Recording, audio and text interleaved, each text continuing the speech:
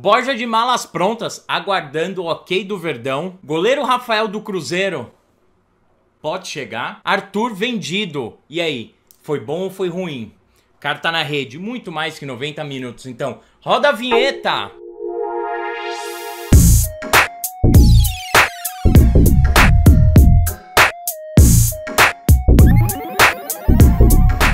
Avante, torcedor palmeirense. E aí, como vocês estão? Eu estou bem, é, torcedor. É com muita palestrinidade que eu venho aqui nesse canal para mais um vídeo.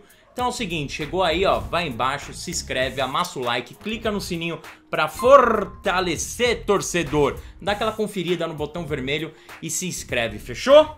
Família palmeirense! Eita! É, torcedor, que doideira, hein? Então quer dizer que o Borja ele está aguardando só o ok do Palmeiras. Mas por que o ok do Palmeiras? Ih, deu uma melada aí, viu? Cada hora um fala alguma coisa, torcedor. Eu tô trazendo aqui o que tá saindo de notícias do Palmeiras. Então, o Borja aí, ele já tá, já conversou com o Júnior Barranquilha, que é o time do coração dele, tem tudo isso. Então, questão de tempo, só que o Júnior foi lá e reclamou, falou: "Ué, vocês estão pedindo mais pra gente, para ele vir pra cá, do que pro Racing?"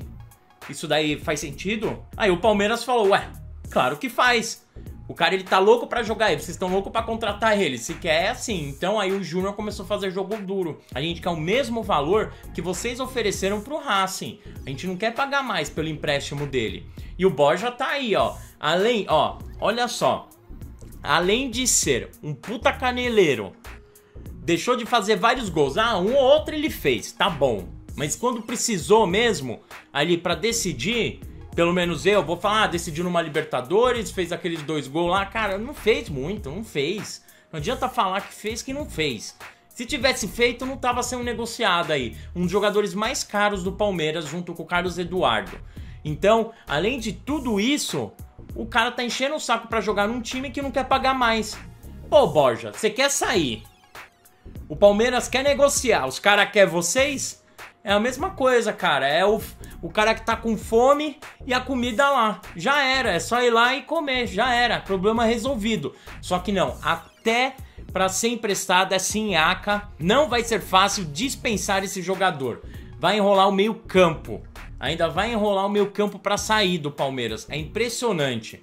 Bom, então, o que estão dizendo é que até o final de semana o Palmeiras deve resolver isso, eu não sei. Porque aí é proposta que vai, é proposta que vem, é proposta que vai, é proposta que vem. Aí os caras ficam negociando nisso daí. A gente precisa ver o, o, quanto tempo que vai demorar, não dá para saber. Só que é, provavelmente até o final de semana o Palmeiras já deve bater o martelo e emprestar. Palmeiras, pelo valor que pagou, pelo salário que paga pro jogador, tem que tentar ter o menor prejuízo, o menos de prejuízo aí nessa negociação. Cara, não tem jeito. O cara não dá para ficar, então tenta fazer o melhor negócio. E é que a gente conta com que o Barros faça, né? É, torcedor palmeirense. Então quer dizer que o Palmeiras está indo atrás de um outro goleiro, Rafael, goleiro do Cruzeiro, reserva do Cruzeiro. Bom goleiro bom goleiro.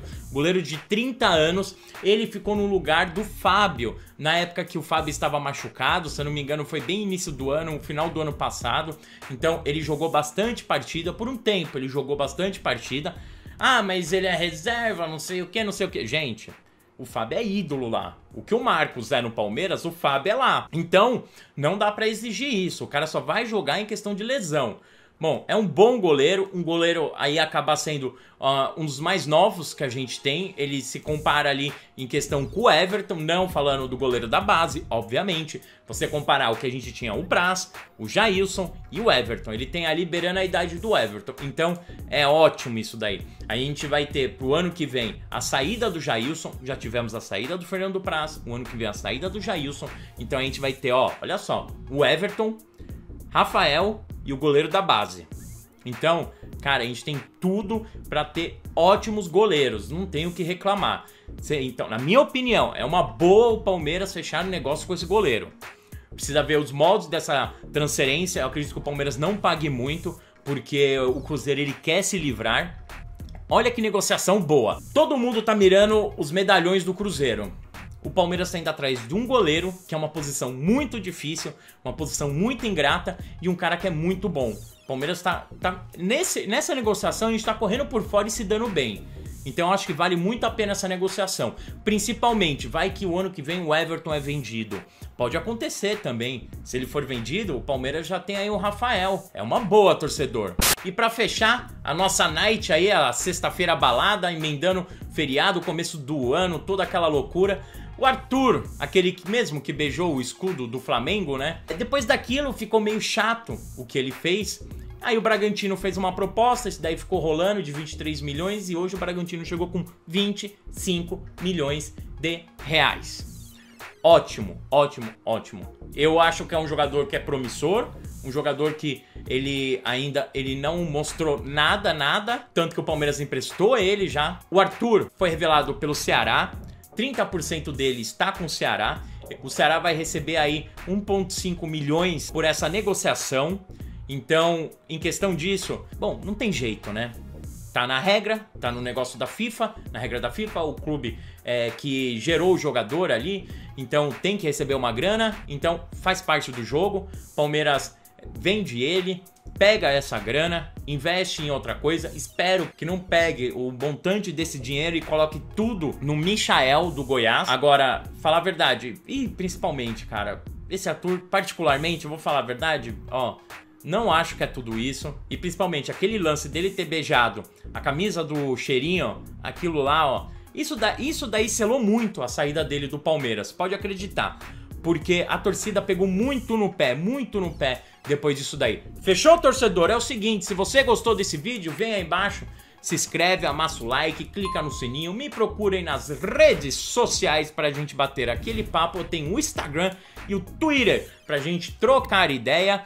Dê uma passada no Apoia-se, apoia.se barra carta na rede. Lá vocês têm premiações e vocês podem me ajudar começando com dois reais por mês. Olha só, cara, é mais barato que uma coxinha. Vamos nessa, um grande abraço e falou!